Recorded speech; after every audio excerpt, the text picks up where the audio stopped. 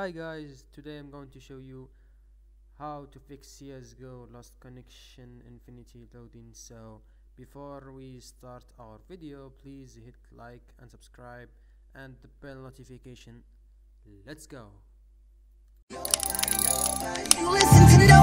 Taking trips, cause I never tripped on what they said. If you speaking from your heart, naysayers gon' aim for your head. Hi everyone, this is uh, Frost video here. So let's get started. Mm, all you have to do is go to PC, then Properties,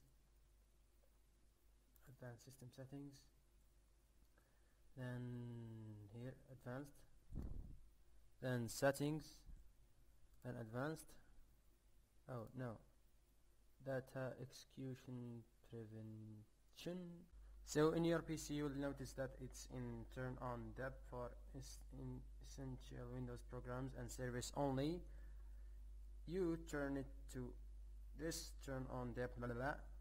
hit apply then OK then it will ask you for restarting your computer restart it then launch the game thank you guys for watching and I hope you like this video please hit like subscribe and the bell notification. See ya!